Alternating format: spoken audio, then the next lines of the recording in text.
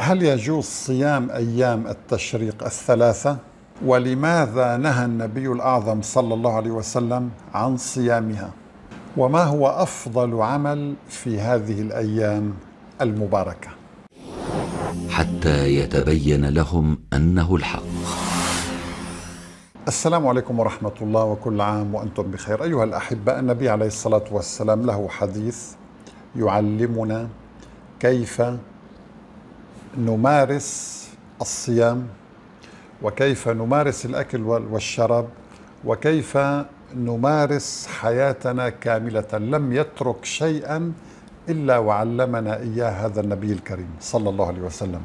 يقول عليه الصلاة والسلام أيام التشريق هي أيام أكل وشرب وذكر لله تبارك وتعالى. اولا أيام التشريق نحن نعلم أن العشر من ذي الحجة هي من يوم واحد إلى يوم تسعة. اليوم التاسع هو يوم الوقوف بعرفة. اليوم العاشر هو يوم النحر وهو أول أيام العيد. فصل لربك وانحر. الثاني يوم وثالث يوم ورابع يوم العيد هذه الأيام الثلاثة أيام التشريق هي أيام فرح أيام ذكر لله سبحانه وتعالى. طب لماذا لم يشرع النبي عليه الصلاة والسلام الصيام فيها؟ هنا قاعدة مهمة أخي الحبيب.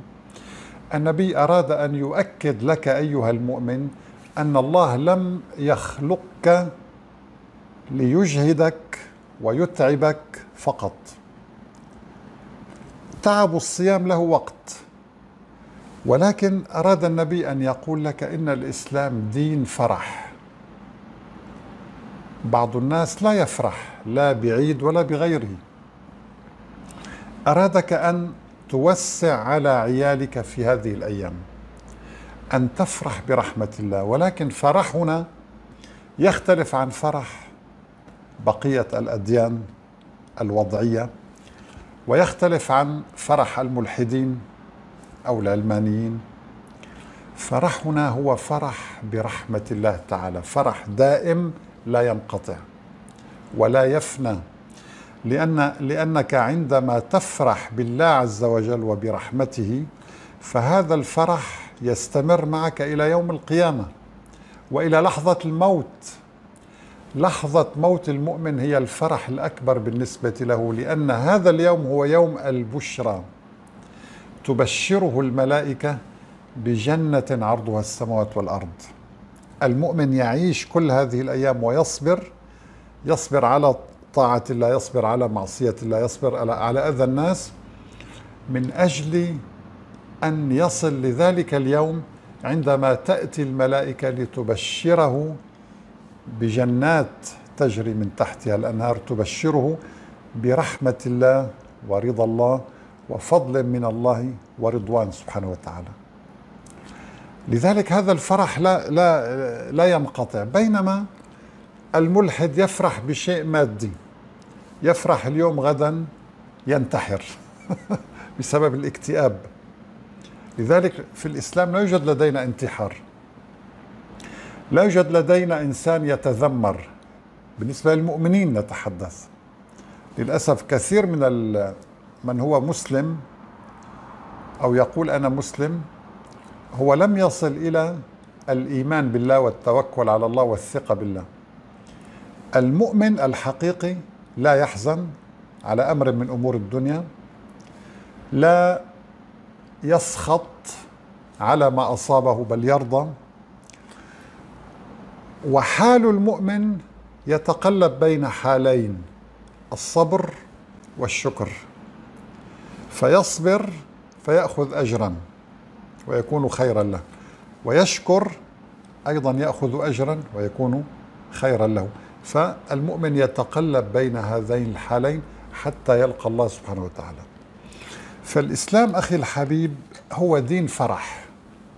لذلك النبي أراد لنا أن نفرح. طيب اليوم نرى القتل في كل مكان نرى ما يحدث في فلسطين.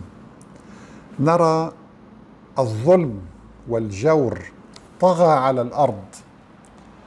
نرى أن الأرض قد ملئت ظلما وجورا والعياذ بالله. علامات الساعة بدأت تتجلى وتظهر. كثرة الكذب وكثرة القتل وكثرة الفتن وكثرة الزلازل وكثرة الكوارث. هذه علامات الساعة بدأت تظهر وتنجلي أمامنا. على الرغم من ذلك النبي عليه الصلاة والسلام أرادك أن تفرح برحمة الله لأن هذا الذي اعتدي عليه ومات مظلوما هو فرح عند ربه الآن. لا تظن أنك أفضل منه. يعني إذا كنت تنعم بالأمان وبالطعام والشراب والمال وكل متع الحياة أو أو تتمتع برفاهية عالية لا تظن أنك أفضل عند الله من إنسان مات مظلوما.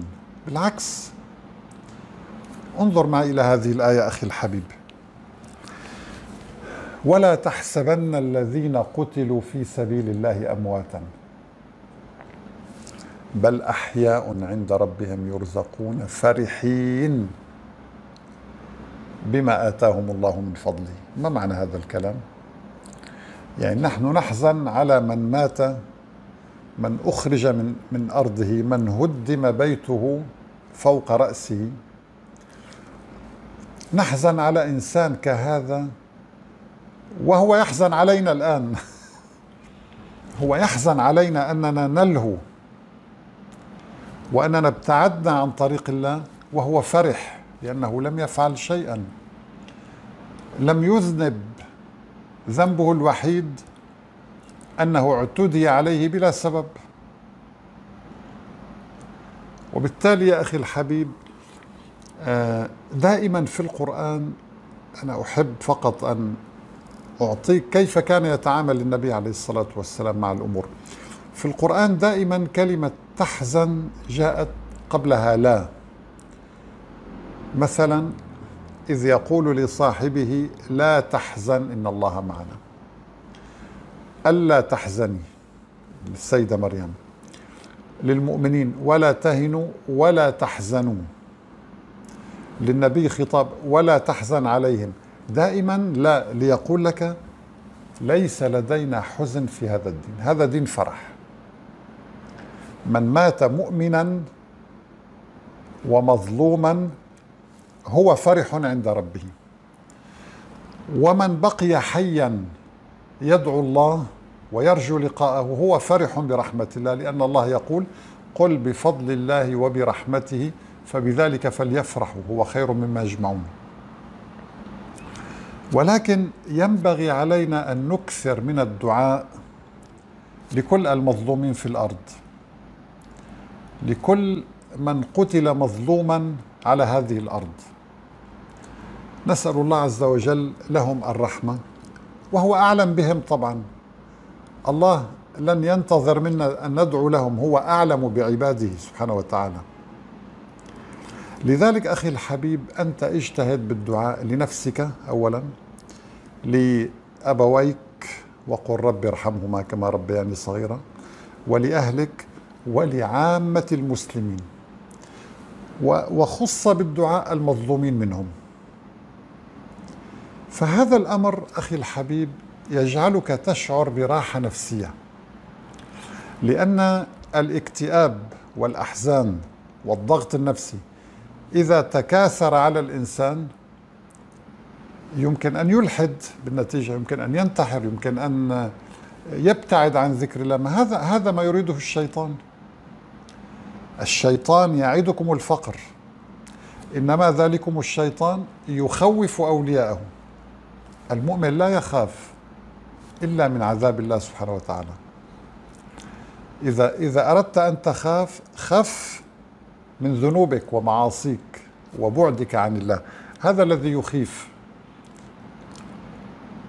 وبالتالي أيها الأحبة الحكمة كما أراها أنا من أن هذه الأيام ممنوع فيها الصيام آه لأن النبي عليه الصلاة والسلام أعطانا رسالة مهمة جدا أن أيام العيد هي أيام أكل أيام شرب أيام فرح أيام عيد أيام فيها الابتسامة فيها العمل الصالح فيها ذكر الله وفيها الدعاء أيضا.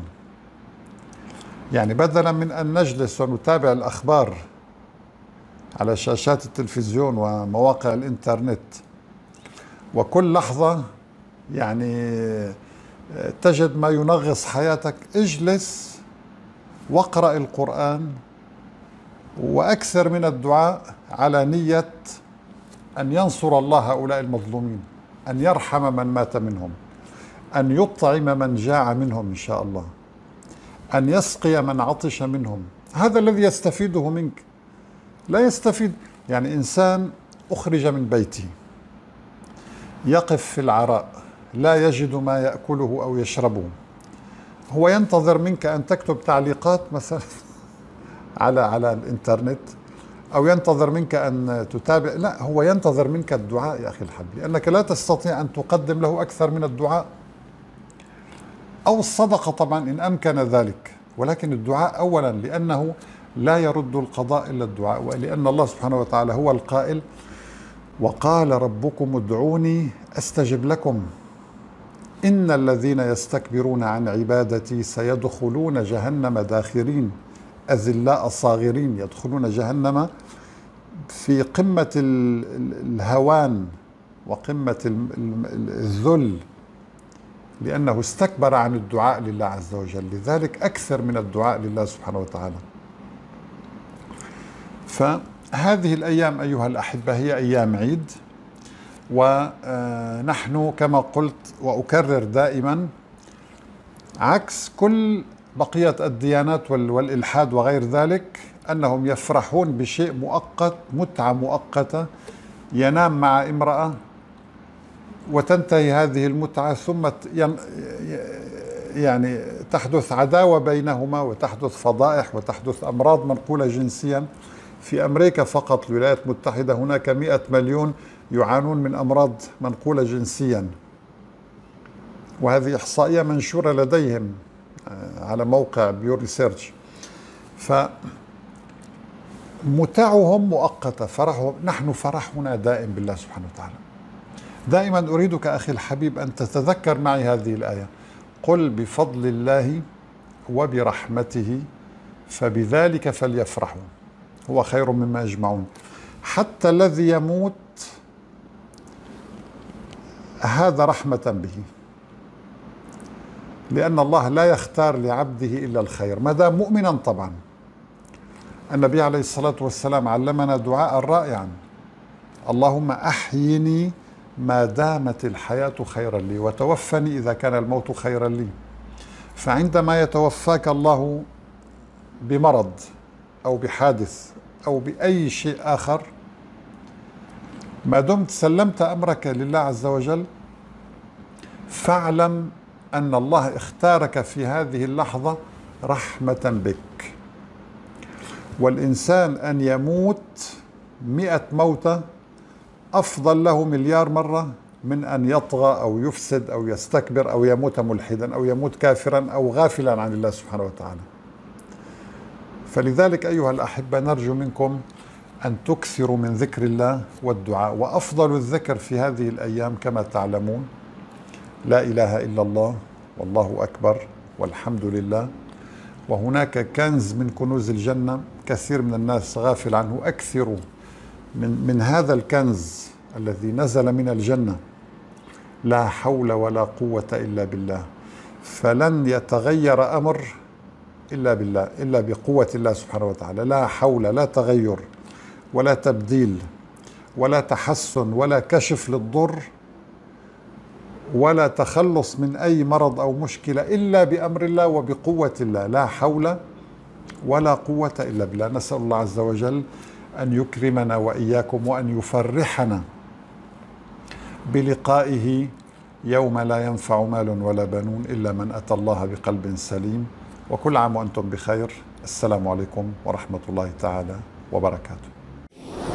حتى يتبين لهم أنه الحق.